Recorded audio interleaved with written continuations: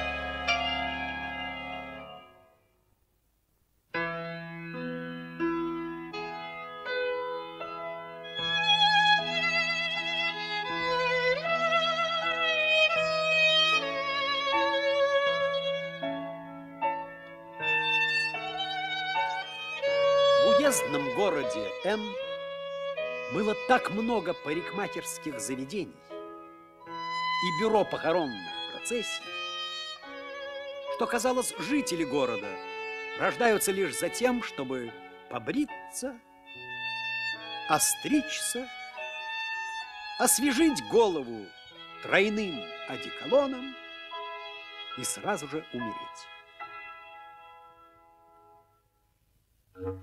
А на самом деле в уездном городе Н люди рождались, брились и умирали довольно редко. Жизнь города Н была тишайшей.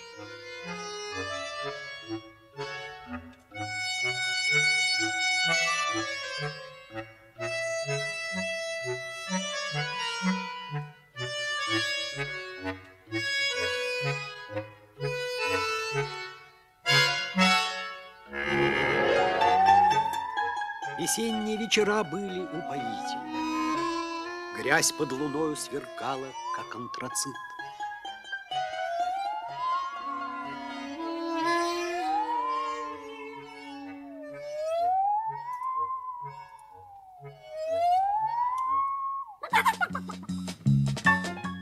И вся молодежь города была влюблена в секретаршу месткома коммунальников до такой степени, что это мешало ей собирать членские взносы.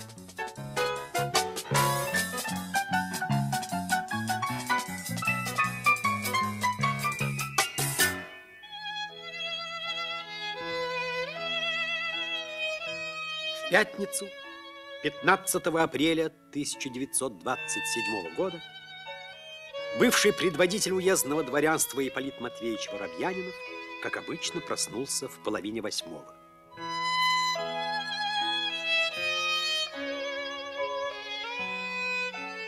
Сунул сухощавые ноги в довоенные штучные брюки и, учтиво улыбаясь, двинулся навстречу вошедшей в комнату теще Клавдии Ивановны. Аполлет, сегодня я видела дурной сон. Слово «сон» было произнесено Клавдией Ивановной с французским прононсом. «Сон». Да, вот так, сон или даже сон. Ипполит Матвеевич не любил своей тещи. Клавдия Ивановна была глупа. Ее преклонный возраст не позволял надеяться, что она когда-нибудь поумнеет.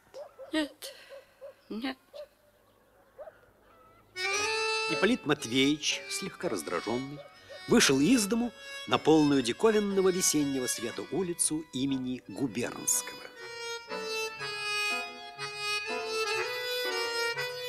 По правую руку серебрились гробы похоронного бюро «Нимфа».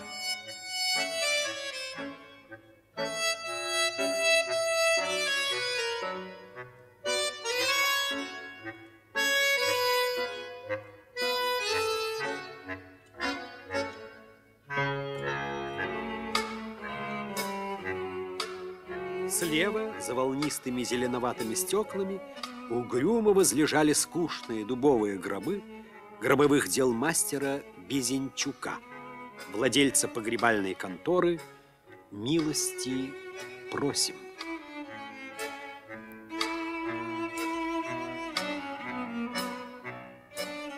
Хотя похоронных дел было множество, но клиентура у них была небогатая.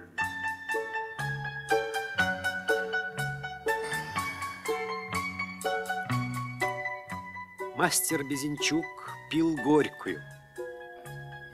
И даже однажды пытался заложить в ломбарде свой лучший выставочный гроб. Закладывал. Было дело.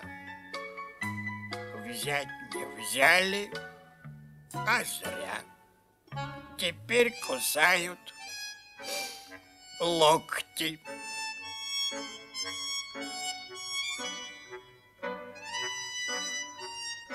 Против нашего товара ни одна фирма выстоять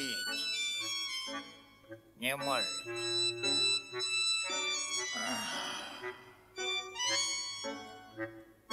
Глазет ставим. Раз. Кистями кантуемся. Два. У нас первый сорт. Прямо. В нем жить можно. Безрадостно поглядев по сторонам, Ипполит Матвеевич двинулся дальше.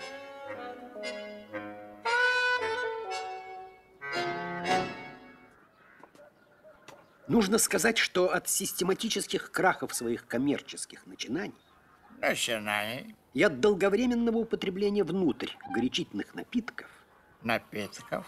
глаза мастера, как ему казалось, были ярко-желтыми и горели. Вот так.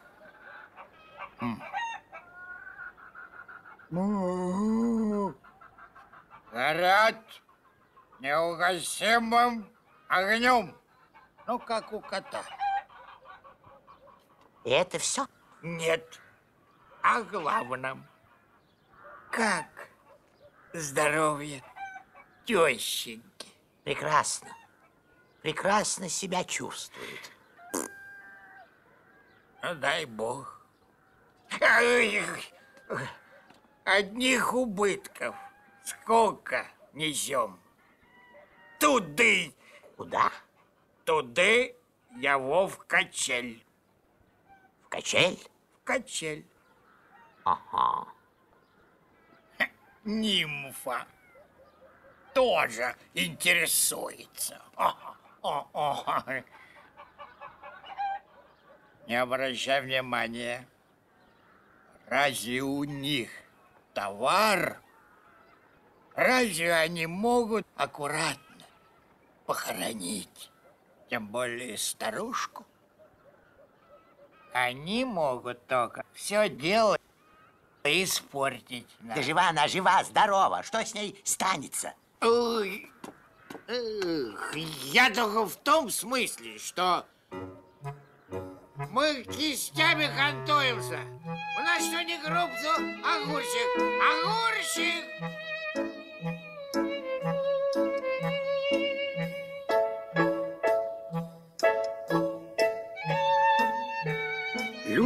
Городе Н умирали редко. И Ипполит Матвеевич знал это лучше кого бы то ни было. Потому что служил в ЗАГСе. В ЗАГСе, где ведал столом регистрации смертей и браков. Проворно натянув на рукавники, Ипполит Матвеевич передал усам правильное направление параллельно линии стола, и началось спокойное течение служебного дня.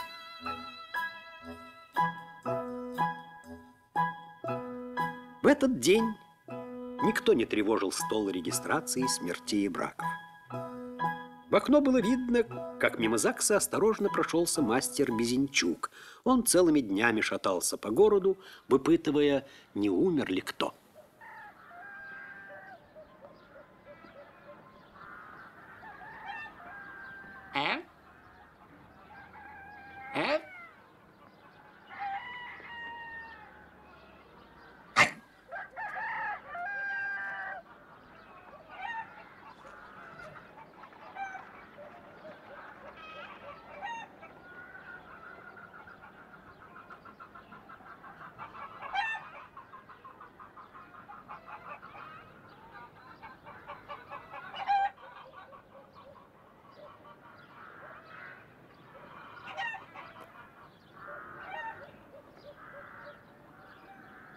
Живая.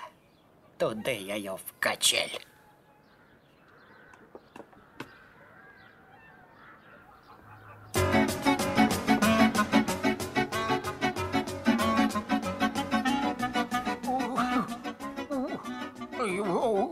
Не, не понял. Да, тады снова. У, у нимф разве товар туды ее в качель. Кисть, а, жидкая, а мы, мы фирма, основаны в 1907 году. У нас что не гроб, то огурчик. Обалдеешь ты среди своих гробов. Не обалдею. Ипполит Матвеевич влетел на крыльцо, и тут...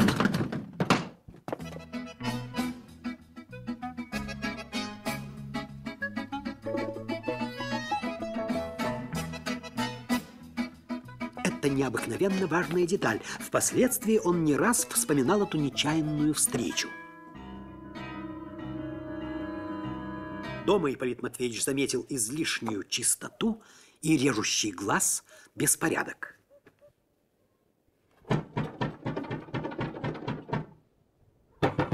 Соседка-агрономша Кузнецова объяснила все сразу. Ей хуже. Она только что исповедовалась. Сильнейший сердечный припадок. Не исключена возможность смертельного исхода. 32 рублика, первый сорт. Можно в кредит? Эполет. Помните вы наш гостиный гарнитур? Тот, обитый английским ситцем.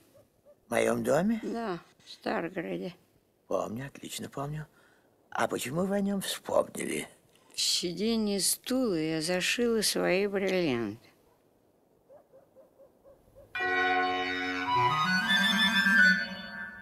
Как? Разве их не отобрали тогда во время обыска? Нет, я спрятала бриллианты в стул. А почему вы их не отдали мне? Как же было отдать вам бриллианты, когда вы пустили по ветру имение моей дочери? Как? Засадить бриллиант в стул? Стул на, на 70 тысяч, на котором неизвестно, кто сидит. В голове Ипполита Матвеевича творилось черт знает что. Зазвучали цыганские хоры, задергались грудастые дамские оркестры. Многое представилось Ипполиту Матвеевичу. И лакейская преданность, и оранжевые упоительно дорогие кальсоны. И возможная поездка в Канны.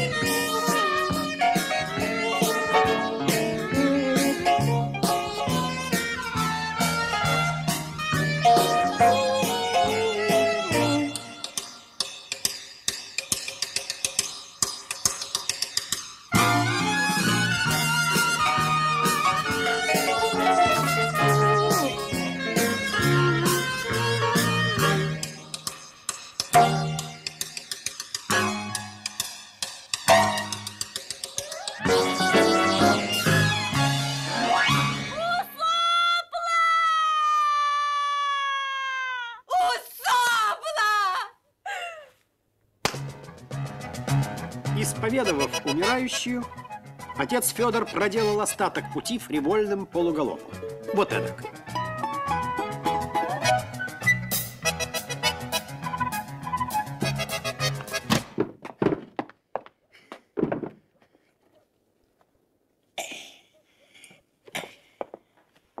Батюшки, опять новое дело затеял. Ко священному успению вечный покой подай, Господи, и сотвори ему вечную память. Феденька, Феденька, что ж ты учиняешь-то над собой опять, а? Тихо. Постригаюсь. Феденька, родненький, никак к обновленцам решил податься, а? А почему бы не мать и перейти к обновленцам?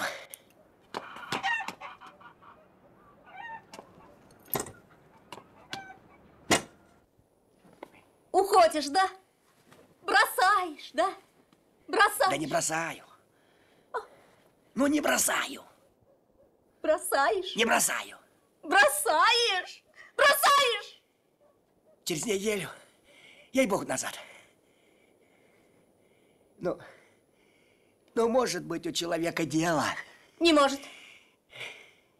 Ну, может быть. Нет. Ну, может быть. Может быть, дело. Господи. Бросает. Да не бросай. Бросает. Отцу Федору, человеку в обращении с ближними кроткому, пришлось даже постучать кулаком по столу. Вот так. Господи! Нет, э, вот так. Так. Или даже нет. Вот как. Да.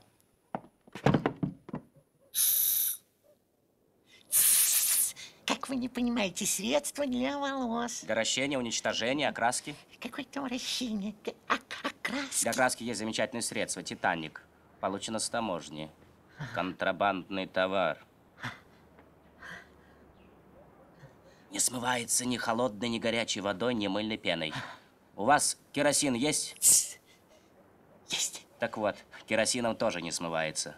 Радикальный черный цвет. Флакон на полгода. Цена 3 рубля 12 копеек. Однако...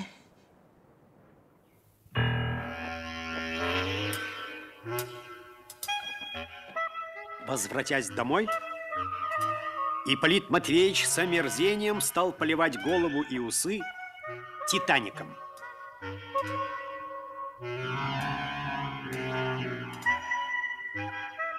По квартире распространилось зловоние. Радикальный черный цвет оказался с несколько зеленоватым оттенком, но вторично красить было уже некогда. О, боже мой. Я уже не надеялась вас увидеть. Куда же вы запропастились? Я и спросил отпуск. Двухнедельный законный. Я уезжаю, А че это вы такой зеленый? потому что мне некогда. Я уезжаю по делам. В Штаргард.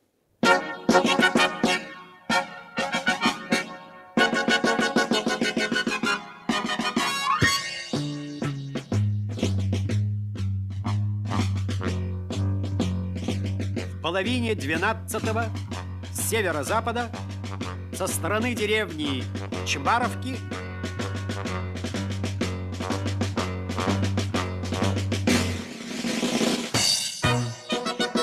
в Старгород вошел молодой человек лет 28.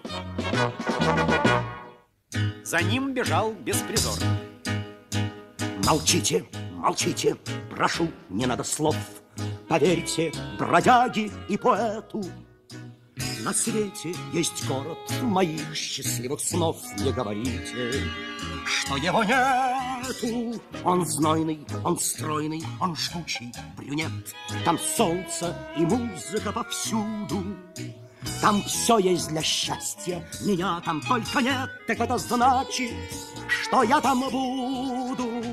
О, Рио, Рио, рокот прилива, шум прибоя южный размах. О, Рио, Рио, сколько порыва, сколько зноя в черных очах. О, Рио, Рио, о, Рио, Рио, о, Рио де Жанейро, о, Рио, Рио, о, мама мия, потерпи, я прибуду на днях. Не скрою, быть может, я слишком доверял рекламным картинкам из журналов. Быть может, обманчив мой хрупкий идеал, но это свойство всех идеалов. Кто верит в Аллаха, кто строит рай земной, пожалуйста, разве я мешаю? Я верю в кружочек на карте мировой И вас с собою не приглашаю. О, Рио, Рио, рокот прилива, Шум прибоя южный размах. Ах, о, Рио, Рио, сколько порыва, Сколько зноя в черных очах. О, Рио, Рио, о, Рио, де Жанейро, о, Рио, Рио, о, мама мия, потерпи, я прибуду на днях.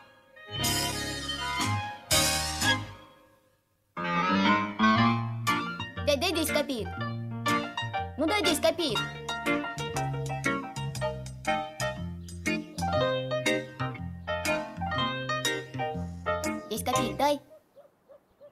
Тебе дать еще ключ от квартиры, где деньги лежат? Это была историческая тирада.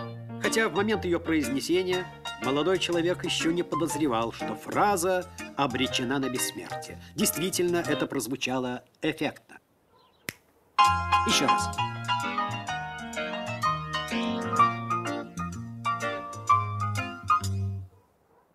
Дай, дай 10 копеек. Может быть, тебе дать еще ключ от квартиры, где деньги лежат? Молодой человек солгал. У него не было ни денег, ни квартиры, где они могли бы лежать, ни ключа, которым можно было бы квартиру отпереть.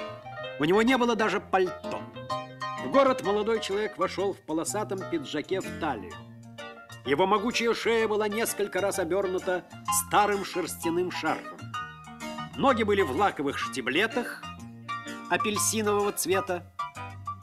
Носков под штиблетами не было.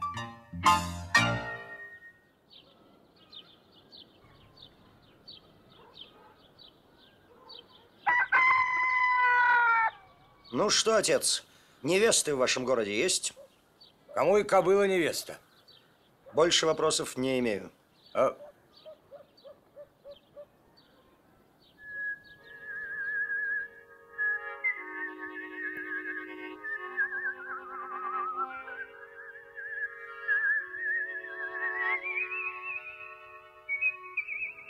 Да. В таком доме и без невест. Наших невест давно на том свете с фонарями ищут. Здесь государственная богадельня. Старухи здесь живут на полном пенсионе. Те, что до исторического материализма родились? Вот это верно. А что же в этом доме до исторического материализма было? Когда было? При старом режиме. А, при старом режиме барин мой здесь жил. Буржуй? Не, предводитель дворянства. Пролетарий, значит? Сам-то пролетарий. Я ж тебе говорю, предводитель. Разговор с умным дворником, слабо разбиравшимся в классовой структуре общества, продолжался бы еще бог знает сколько времени, если бы молодой человек не взялся за дело решительно.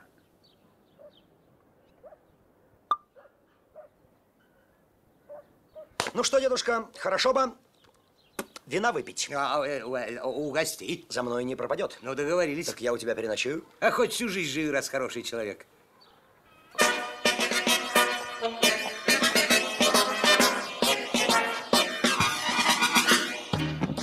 Добившись так быстро своей цели, гость проворно спустился в дворницкую, снял апельсиновые штиблеты и растянулся на койке, обдумывая план действий на завтра. Звали молодого человека Остап Бендер. Из своей биографии он обычно сообщал только одну подробность. Мой папа был турецко-подданный.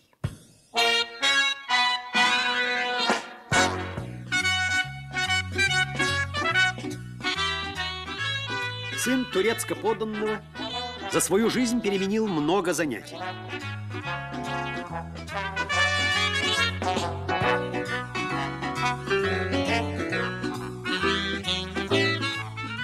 Живость характера, мешавшая ему посвятить себя какому-нибудь делу, постоянно кидала его в разные концы страны.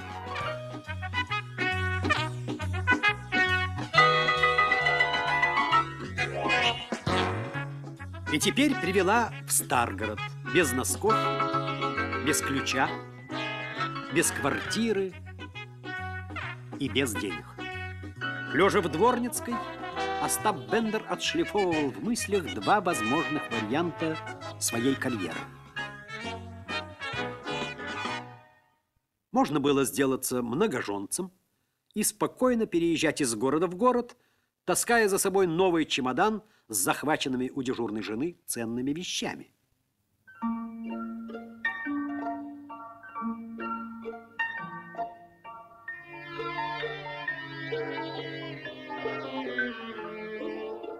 Однако этот проект имел и свои недостатки. Да.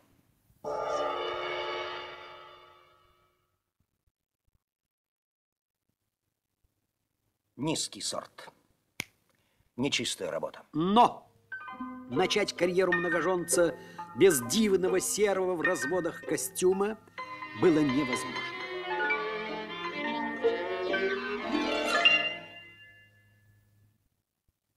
Да. При случае этот вариант сулил многое.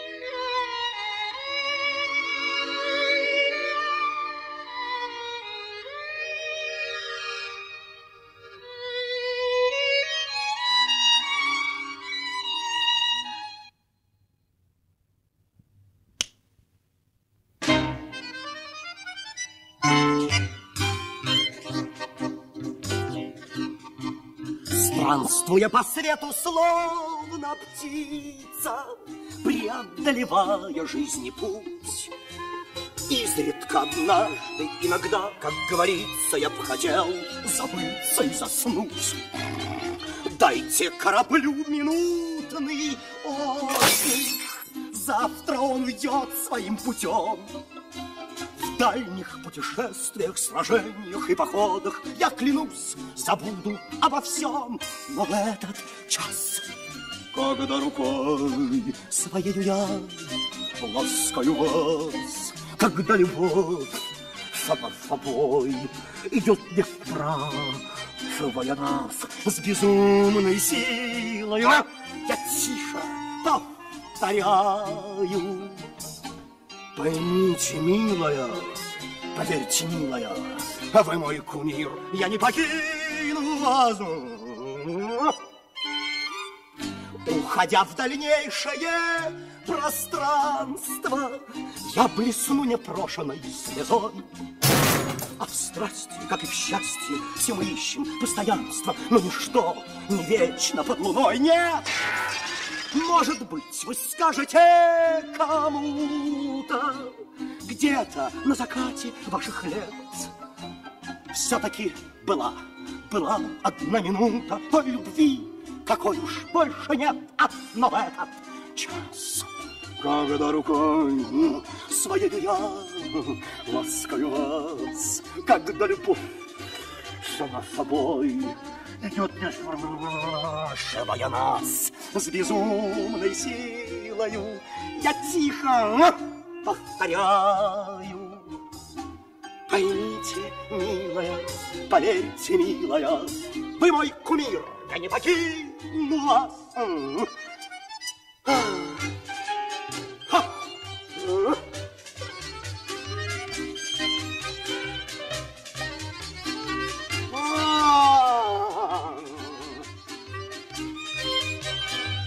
За безумной силой я тихо повторяю. Поймите, милая, поверьте, милая, вы мой кумир, я не покину вас.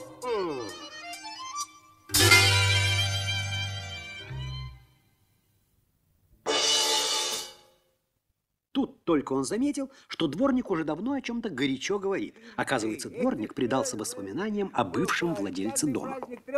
Что ж, барин твоего, шлепнули, что ли? Зачем шлепнули? Никто его не шлепал, шлепнули. Он сам уехал. Сейчас я скажу, куда уехал. Ну и куда ж твой барин уехал? А кто его знает, куда уехал? Ну, я тебе скажу. Я- он тебе скажу. Я- Париж, говорят, люди. О, белые акации, цветы иммиграции. Что ж твой барин эмигрант? Сам ты иммигрант, иммигрант. Эти, у Париж, говорят, люди уехал. Париж, Париж. О, Париж. А этот дом под, под старух забрали. А их сколько не поздравляй, гривенника не получишь. Э, э, барин был, барин еще. Ух.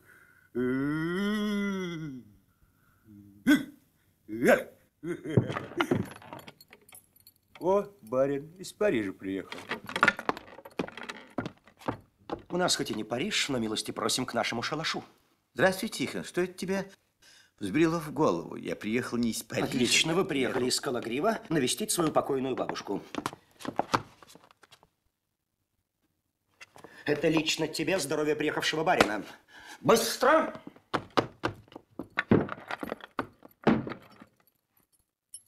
Спокойно, все в порядке. Моя фамилия Бендер. Может быть, слыхали? Не слышал. Ну, конечно, откуда же в Париже может быть известно имя Остапа Бендера? Ложись! Тепло теперь в Париже? Хороший город. У меня там сестра двоюрная. Замужем. Какая сестра? Двоюрная.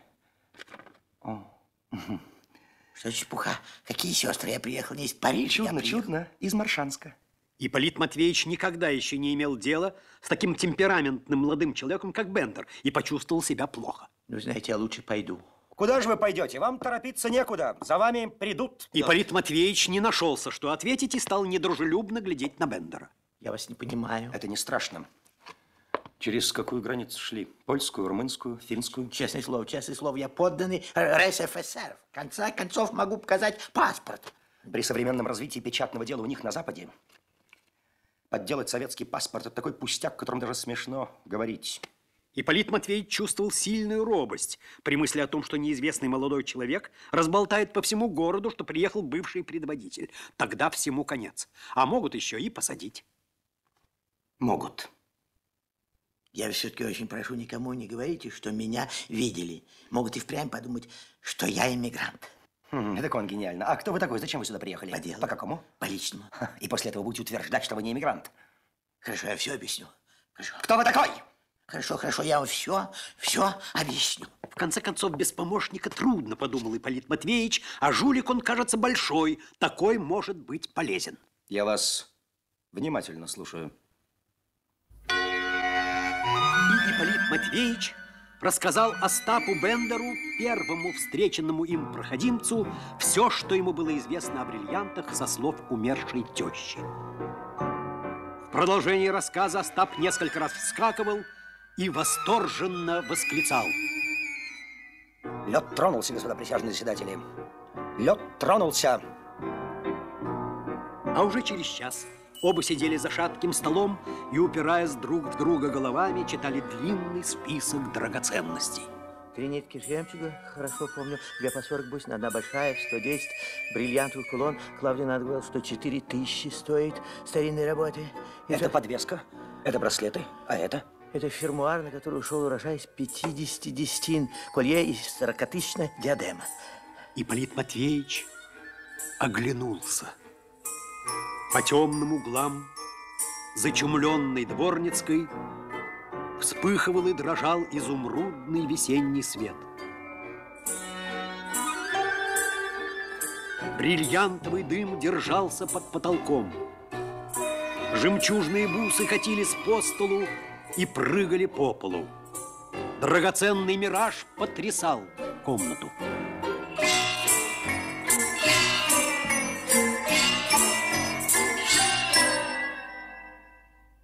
Выбор неплохой. Камни, я вижу, подобраны со вкусом. И сколько вся эта музыка стоила? Тысяч 70-75. М, теперь, значит, полтораста тысяч. Только вы, дорогой товарищ, из Парижа плюньте на все на это. Как плюнуть? Как же вам плюнуть-то? Слюной. Как плевали до эпохи исторического материализма. Сколько было стульев? 12 гостиный гарнитур. Давно сгорел ваш гостиный гарнитур в печах. Этого не может быть. Спокойно, может быть. спокойно, спокойно. За дело берусь я, заседание продолжается. Кстати, нужно с вами заключить небольшой договорчик. Согласен. В случае реализации клада, я как непосредственный участник концессии, технический руководитель дела, получаю м, 60%. Это же бела дня. Сколько хотите мне предложить? 5%, ну 10 наконец, поймите, это 15 тысяч рублей. Вы пошлый человек. Любите деньги больше, чем А надо. вы не любите денег? Нет.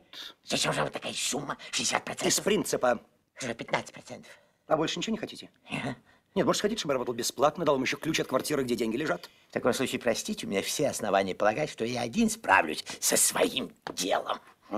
Ах так? Так. В таком случае у меня есть не меньше оснований предполагать, как говорил Энди Таккер, что и я один справлюсь с вашим делом. Мошенник!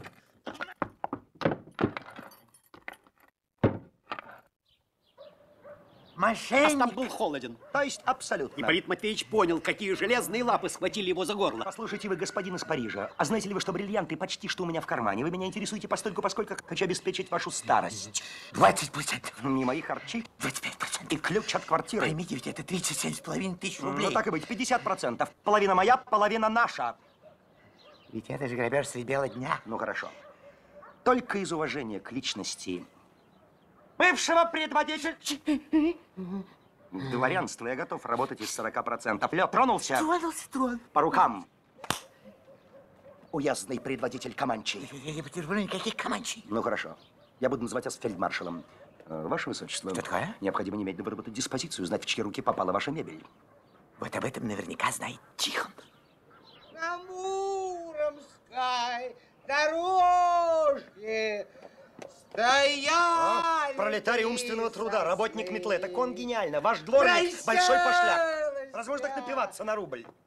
А вот представьте себе, Послушай, Тихон, голубчик, не знаешь ли ты, дружок, что стало с моей мебелью? С тем, с тем гостиным гарнитуром из 12 стульев. с гарнитуром из 17 стульев стульев. на Муромской дорожке стояли... Эй, эй, эй, ой, эй, эй, та, ай, ой. Придется отложить опрос свидетеля до утра. Будем брать живьем.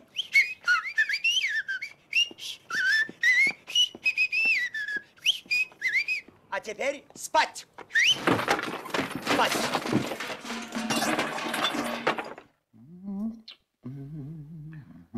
О, жилет. Прямо на продажу. Продайте. Не знаю, право. Ну да ладно, 8 рублей. А, 8 рублей – это... Хорошо. Деньги после реализации нашего клада. Э, нет, я так не могу, пожалуйста, тогда обратно. Что же за лавочничество? Начинать полутора стотысячное дело и ссориться из-за 8 рублей. Учитесь жить. Шикарно. Хорошо. Выдано Остапу Бендеру 8 рублей. Но вы уже открыли мне лицевой счет. Интересно. После этого Остап заснул беззвучным детским сном.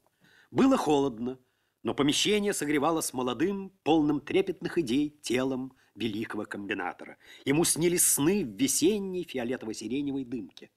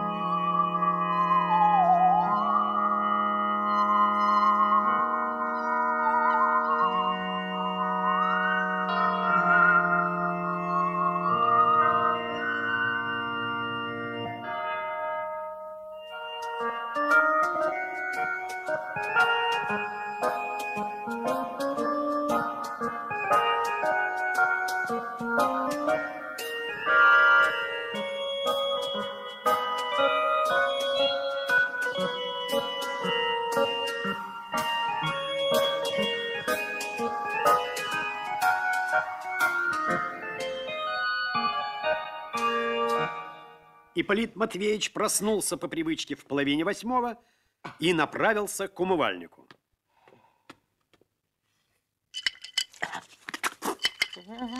Он умывался с наслаждением, отплевывался и тряс головой. Вытираться было тоже приятно. Но отняв от лица полотенце, Ипполит Матвеевич увидел, что оно испачкано тем радикально черным цветом, которым с позавчерашнего дня были окрашены его горизонтальные усы.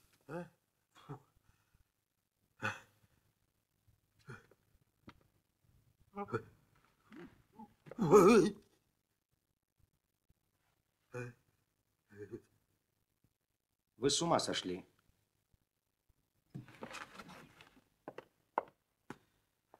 Аптекарь говорил, что это радикальный черный цвет, что это Титаник, контрабандный товар. Контрабандный? Всю контрабанду делают в Одессе, на Малой Арнаутской улице.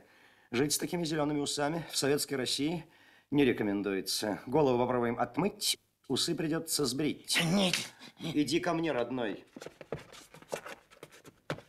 Не бойся, это еще не белая горячка. Отвечайте, дедушка, что вы знаете о мебели вашего барина и конкретно 12 стульях из гостиного гарнитура? Чистосердечное признание облегчит вашу участь.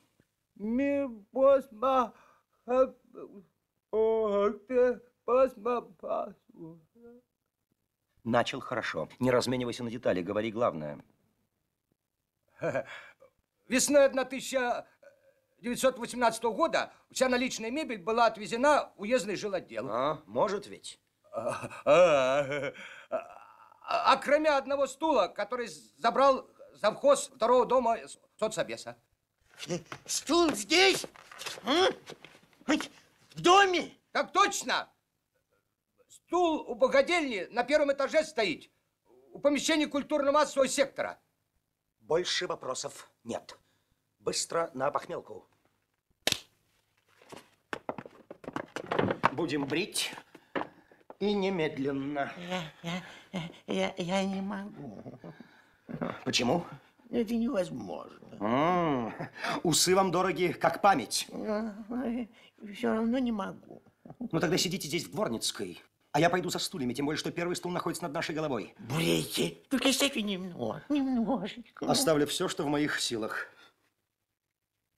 Не забудьте записать на мой дебет 2 рубля за бритье и стрижку. Почему же так дорого? Ведь здесь стоит 40 копеек. За конспирацию, фельдмаршал. Ага.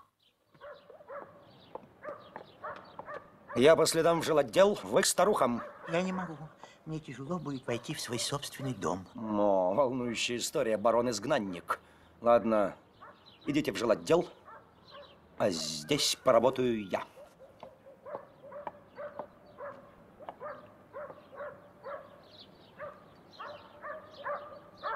Господин фельдмаршал, взгляните на эту вещь. Она?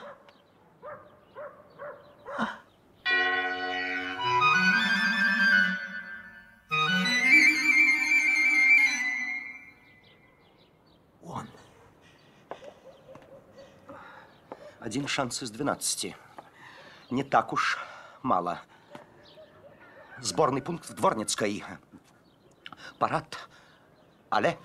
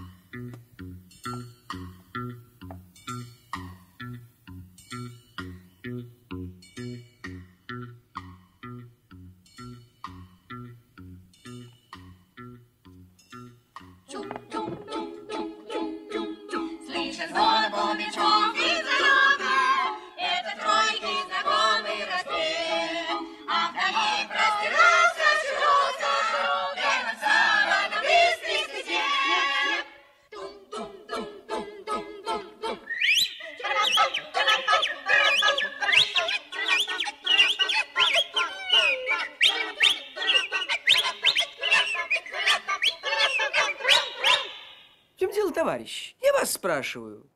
Товарищ, в чем дело? Песни народностей. Ну что ж, неплохо, неплохо. Инспектор пожарной охраны. Простите, а я завхоз второго дома Старсобеса. Вообще, заведующий совещаю. Вот. Вот вы-то мне и нужны. Очень приятно. А, нет, Александр Яковлевич. Об этом человеке следует сказать особо. Завхоз второго дома старсобеса был не просто ворюга, он был застенчивый ворюга. Все существо его протестовало против краж, но не красть он не мог. Он называл жену Сашкин. Она звала его Альхин. Свет не видывал еще такого голубого воришки, как Александр Яковлевич. Он крал, и ему было стыдно. Крал он постоянно, постоянно стыдился, и поэтому его хорошо бритые щечки всегда горели румянцем смущения, стыдливости, застенчивости и конфуза.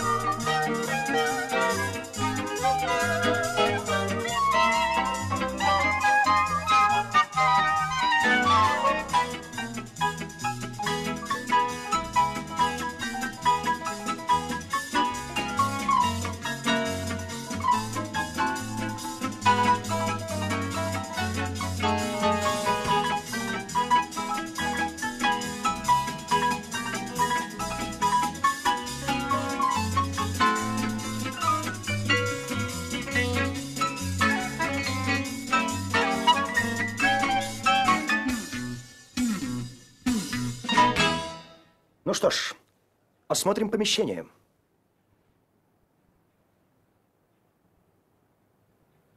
Прошу вас со мной. В этой комнате примусов э, не зажигают, временные печи и тому подобное. Нет, здесь у нас кружки. Драматический, музыкальный, э, изобразительного искусства. А здесь э, сводный духовой оркестр.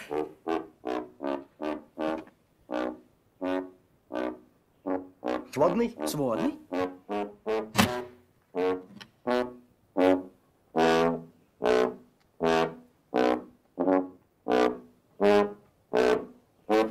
Ну, хорошо. А где остальные инструменты? После слов «остальные инструменты» Альхину стало невыносимо стыдно.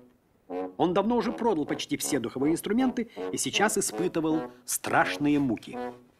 Да.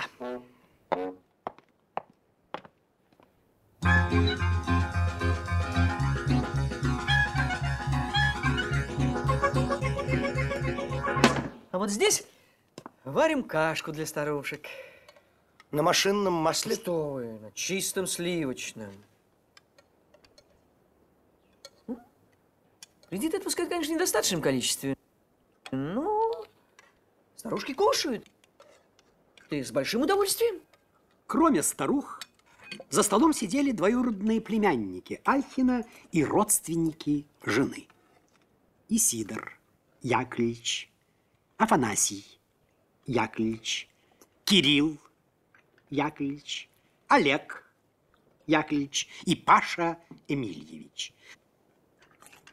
Ни возрастом, ни полом эти молодые люди не гармонировали с задачами социального обеспечения. Но, тем не менее, жили в доме на старушечьих правах и крали в доме все, что не успевал украсть Альхин.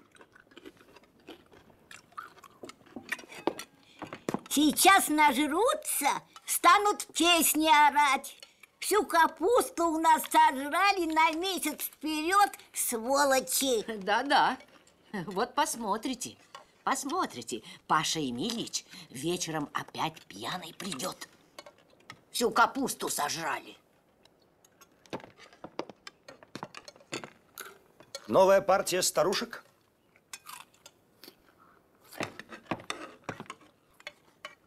Это сироты. Угу.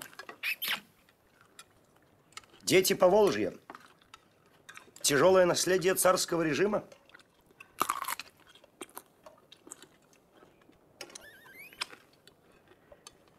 Это сироты. Не изволите ли отобедать в кабинете? Прошу познакомиться, это моя жена, это товарищ из губ пожара. Очень-очень рада. Сударыня, я чрезвычайно рад нашему знакомству, ибо ирония судьбы, не спаславший нам этот э, своего рода сюрприз... м, Остап сказать, неожиданно для себя оттенить. объявил ей такой длиннющий и двусмысленный комплимент, что даже не смог довести его до конца, несмотря на все старания. Эй. Прошу, товарищ, отобеда, чем Бог послал. Чем Бог послал? Не применус. Прошу вас. Пожалуйста, чем Бог послал.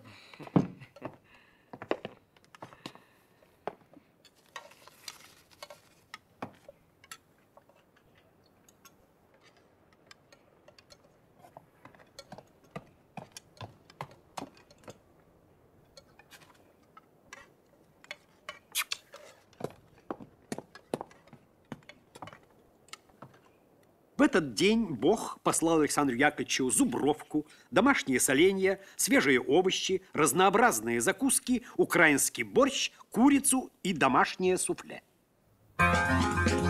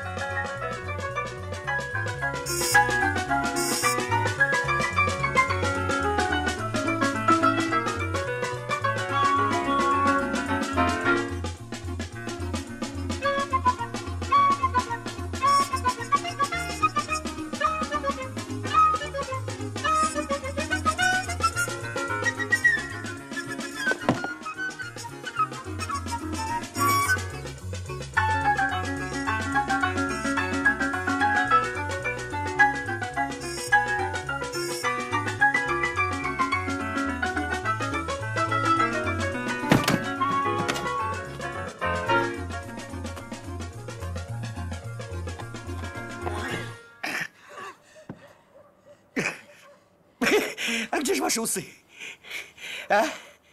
Уважаемый Матвеевич. А где же ваша борода, святой отец? Это не ваше имущество. А чье же это имущество? Это ваше. А чье же? Не ваше, не ваше. А чье же, а чье же? Это не ваше имущество, А не ваше. А чье же это имущество? Не ваше это имущество. А чье же тогда это, это имущество? имущество нами национализировано. Национализировано? Да, национализировано. Кем национализировано? Советской властью. Кем, кем национализировано? Советской властью, советской властью. Какой, какой властью? Властью трудящихся. Ага, властью рабочих и крестьян. Да. Так может вы, святой отец, партийный?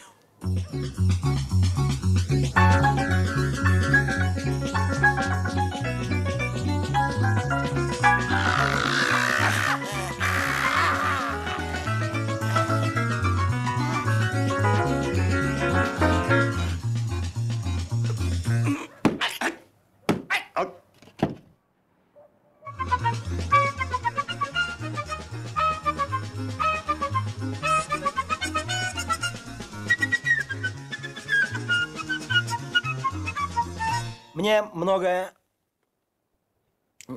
понравилось в вашем кефирном заведении, но почему такой скудный инвентарь? Я совершенно не видел хорошей мебели. Как же? У нас в красном уголке есть прекрасный стул.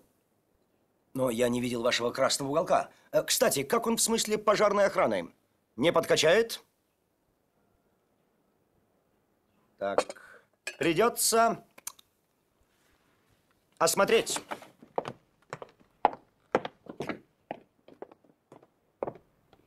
Прошу. А где же наш стульчик? Так, здесь нет. Здесь нет, здесь нет, здесь нет. Нет стула. Странно. А где он может быть? Сегодня утром он был здесь. Я его видел своими собственными глазами. Смешно даже. Простите, я посмотрю в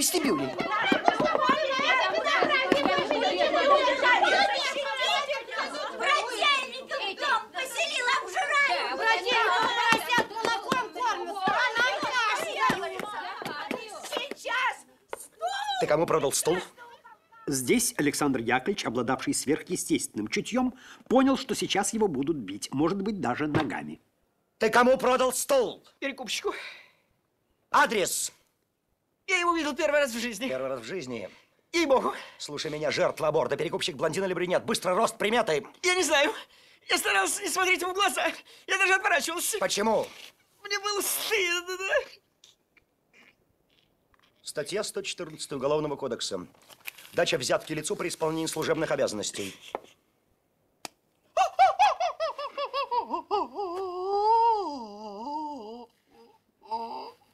Заседание продолжается, господа присяжные заседатели.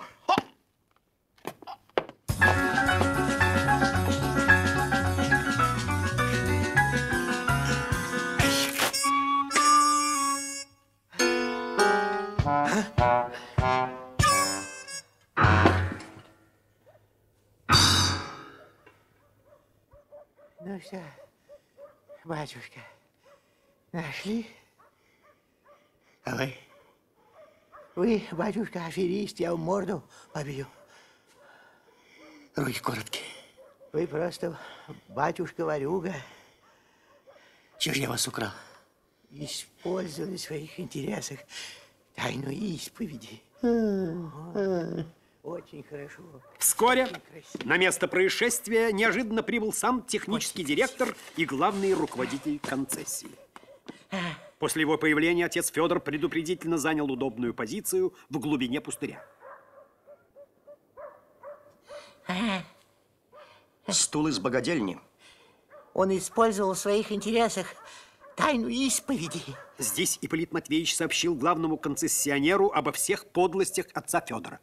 Кислое дело. Пещера Лихтвейса. Таинственный соперник. Надо его опередить. Я его... Что вы его? Что вы его? «Опережу», – подумал Ипполит Матвеевич, но промолчал. Однако его душа наполнилась уверенностью, и он неожиданно предложил. Морду бы ему набить. Морду мы ему пощупать всегда успеем. Сейчас важно отыскать следы остальных 11 стульев. А когда же будем бить морду? Во второй серии.